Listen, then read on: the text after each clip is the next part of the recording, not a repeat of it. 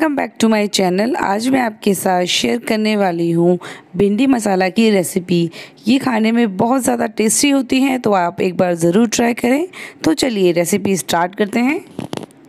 मसाला भिंडी बनाने के लिए मैंने यहाँ पे ये भिंडी ली है। इनको धोकर थोड़ा सा सुखा लिया है और इस तरीके से लंबे लंबे पीसेस में कट कर दिया है। एक कटोरी में मैंने यहाँ पे दही लिया है, एक मीडियम साइज़ का टमाटर लिया है जिसको बारीक चॉप किया है और एक मीडियम साइज़ की प्याज ली है जिसको बारीक चॉप किया है। तो सबसे पहले हम इन भिंडी में मिलाएँगे थोड़ा सा नमक थोड़ी सी लाल मिर्च पाउडर थोड़ा सा हल्दी पाउडर और दो टेबल स्पून डालेंगे हम इसमें बेसन।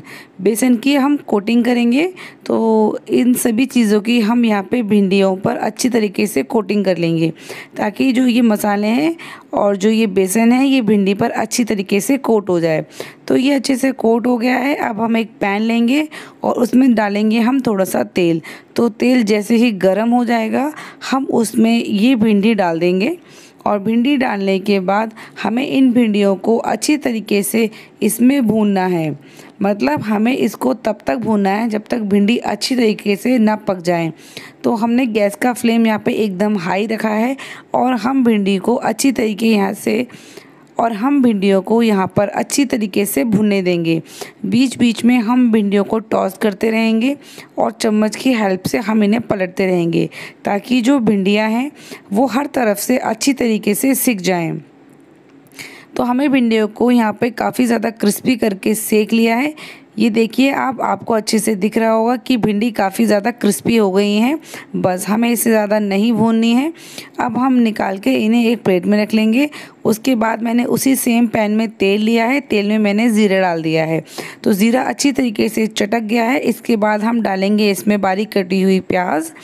प्याज डालने के बाद हम इसको अच्छी तरीके से चलाएँगे और थोड़ी देर के लिए हम प्याज को यहाँ पे पकने देंगे।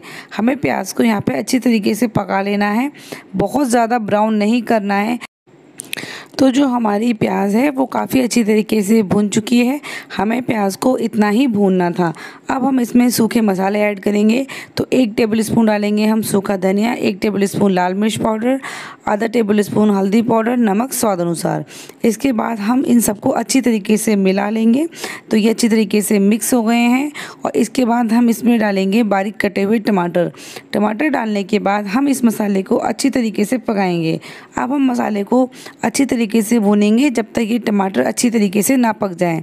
तो जब तक हमारे टमाटर पक रहे हैं, हम इसको अच्छी तरीके से चलाते रहेंगे। तो हमारे जो टमाटर हैं, वो काफ़ी अच्छी तरीके से पक चुके हैं, जो मसाला है, ये भी काफ़ी अच्छे से भून चुका है। अब हम इसमें डालेंगे दही। दही डालकर हम इसको कंटिन्यू चलाते रहेंगे, ताकि दही इसमें फटे नहीं। दही डालने के बाद हम इसको अच्छी तरीके से चलाएँगे। कंटिन्यू चलाते हुए हम इसको पकाएँगे। तो ये देखिए, हमारा जो ग्रेवी है, वो एकदम तैयार है। दही भी अच्छी तरीके से पक चुका है। अब हम इसमें डालेंगे कस्तूरी मेथी। कस्तूरी मेथी डालने के बाद हम इसको अच्छी तरीके से चला देंगे। अब हम इसमें डालेंगे यहाँ पर एक कप पानी। हमने इसमें पानी डाल दिया है। पानी डालने के बाद हम इसको अच्छी तरीके से चलाएँगे और वेट करेंगे उबाल आने का। तो यहाँ पे ये देखिए ग्रेवी में अच्छी तरीके से उबाल आ गया है। अब हम इसमें जो हमने भिंडियों को रोस्ट करके रखा था इस टाइम पर हम भिंडियों को मसाले में ऐड कर देंगे और ऐड करने के बाद भिंडियों को इस मसाले में अच्छे से मिला देंगे। इसके बाद हम इसे पाँच से छः मिनट तक ओपन करके ही हाई फ्लेम पर पकाएँगे, ताकि जो ग्रेवी है वो भिंडियों में अच्छी तरीके से अंदर तक चली जाए। इससे भिंडी का टेस्ट बहुत ज़्यादा बढ़ जाता है। तो देखिए, पाँच मिनट हो चुके हैं, मैंने गैस का फ्लेम ऑफ़ कर दिया है और हमारी मसाला भिंडी एकदम रेडी है। तो चलिए, अब हम इसे सर्व कर लेते हैं। ये भिंडी खाने में बहुत ज़्यादा टेस्टी होती हैं, आप इसे एक बार ज़रूर ट्राई करें। और अगर आपको मेरी ये वीडियो पसंद आई है तो वीडियो को लाइक करें शेयर करें और मेरे चैनल को सब्सक्राइब करना ना भूलें।